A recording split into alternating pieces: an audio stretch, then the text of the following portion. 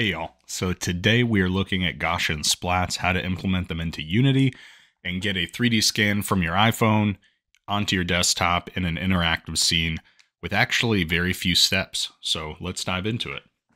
The first thing that I want to cover, and this is not going to be a video on what are Gaussian splats, that's a much longer conversation, but at a very high level, um, here's a comparison between a geometry and a Gaussian splat on Scaniverse's website. So here's the geometry. You can see a lot of fragmented geometric pieces, triangles. That's the splat. So you see a lot more of the environment. The idea is that with the splat, you get a lot more context. You don't have the overhead of all the extra modeled out environment. Um, as you can see here, the geometric model just doesn't make sense to have modeled out all of the stuff around it. And everything you can see here surrounding is just a quick scan with something like a phone. So in my example, I'm going to be using an iPhone today.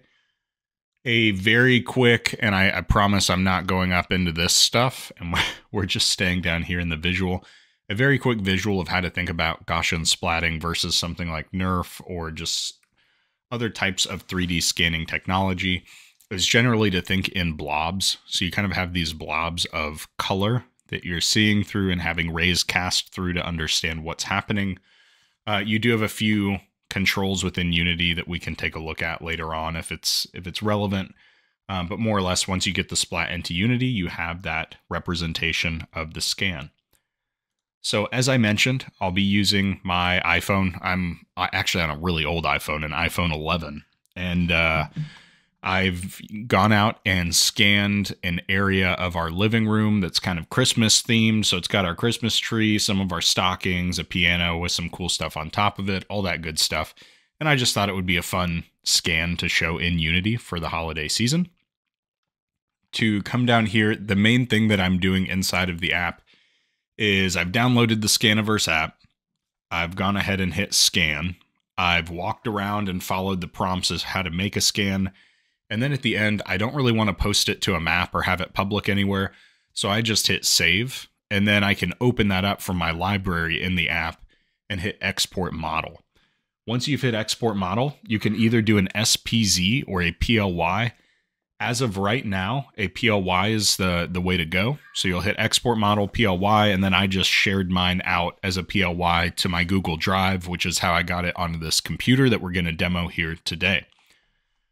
Um, last thing here is that the PLY is kind of the stopgap right now, and the the GitHub that we're going to be using to me is also kind of a stopgap. There is apparently an SPZ importer that's coming for Unity that has a lot more robust support. Um, so here's a video that kind of shows off some of what that's starting to look like. But as of today, as far as I know, this is not out and available. So what we are going to do is use this Gaussian splatting GitHub repository, and we'll go ahead and dive right in. So without making this a tutorial on how to get GitHub repositories local, I'm just going to click on code, copy this HTTPS, come down to the folder where I want to be implementing this, which I've just named documents and then splats. Missed T there. I think it's S P L A T T S. So I'll right click, I'll open up terminal. I'm to go ahead and do a git clone, paste that repo in. And now you can see it's cloning, cloning, and done. So now that that's done, if I come back into here and I look at this, there's now a folder called Unity Gaussian Splatting. I now have docs, packages, projects, etc. If I go into projects, I can see that there's a standard example and then we actually have an HDRP, so high definition render pipeline, and a URP, a universal render pipeline edition of the project. So now what I can do is open up my Unity Hub and I can add project from disk. And I want to come over here and go into projects under splats, Unity Gaussian splatting and I'm going to come down two levels into the HDRP project. And I'm going to add that project.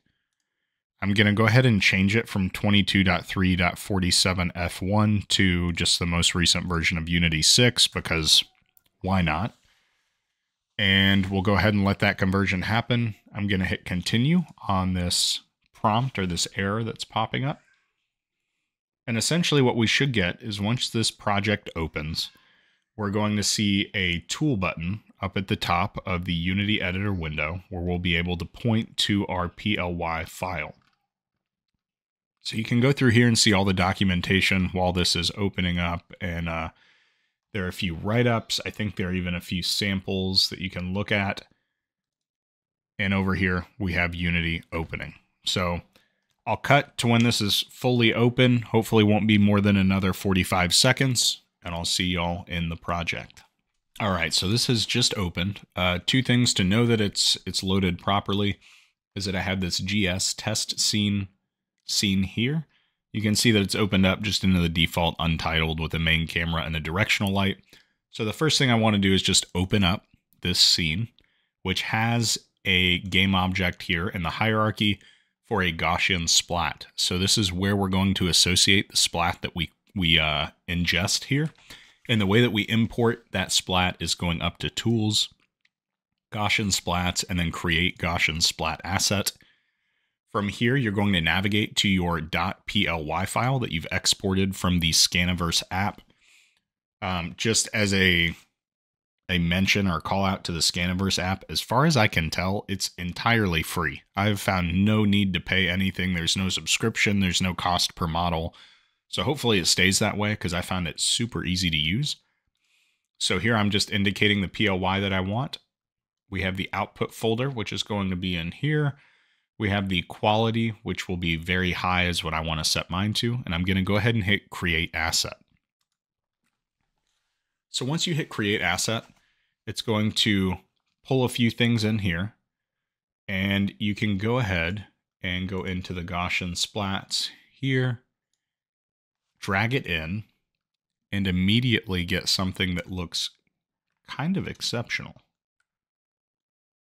So let's see. I just want to make sure that it looks right for the camera. So in here, uh, this is uh, pretty damn cool. All right, I'm going to turn off my gizmos. Let's go ahead and make this a bit bigger so that you can really see what this looks like.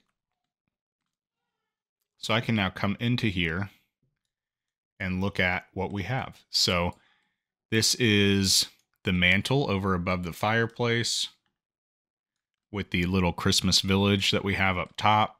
Here's some uh, little sticker sheet candy shop gingerbread houses that my kids made. It actually did pick up the image on our frame TV, uh, which is kind of interesting. I didn't know how it would handle a semi-reflective surface. And it actually got these pretty well scanned. I'm pretty damn impressed. So this was about five minutes that I spent in our living room. You can see our uh, bin of toys that is overflowing. And here's the piano that we have. There's the mirror, so you can see some sort of reflection of myself in that, which is interesting. Some golden nutcrackers that I uh, spray painted black, and my wife just painted gold yesterday. Rudolph the Red-Nosed Reindeer sheet music, a needlepoint of a Jeep, and then the Christmas tree with the little star on top.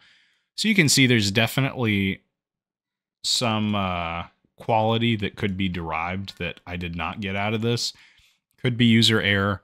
Uh, could just be a limitation of this technology. Um, so a lot of the the limitation that I see with Gaussian splatting right now is specifically that it is being leveraged by something like an iPhone, whereas it's comparing against uh, more robust with larger history scanning technologies that have giant camera rigs that are dedicated to them, getting the best quality out. So if you're trying to scan a super large environment, this doesn't quite cut it. Um, so you have to kind of figure out what you want to use. But for a simple scan that took not much time at all, um, this is pretty great. So now that we're in here and we can start to look around, here are some of the sliding scales that we have. So I can decrease how big the splats are and you can start to understand kind of how those blobs work. Take that back to one. Have our opacity.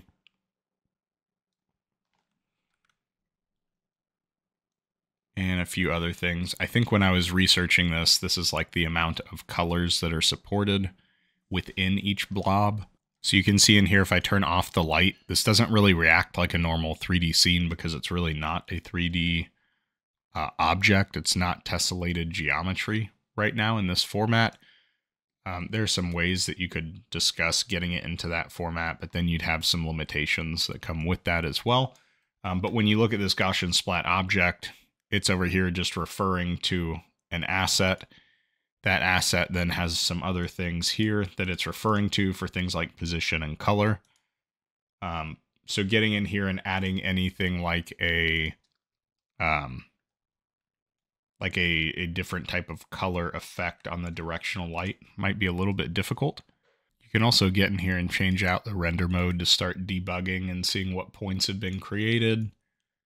Wow, this is pretty damn cool. So I'll keep this up online, and once a new tutorial can come out with a new way of importing Gaussian splats, I'll be sure to post it and link to it.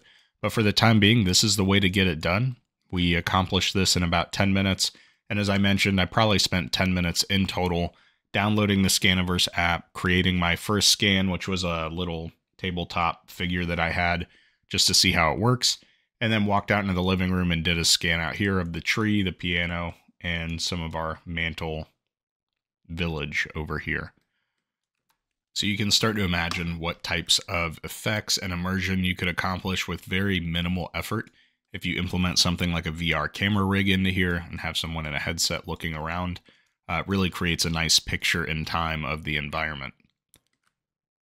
So if you have any questions, let me know. I hope this was helpful, and I look forward to seeing what y'all have that you can scan, take into Unity, and start interacting with. Thanks for watching. Have a great day. Like, comment, and subscribe, and I'll see y'all in the next one.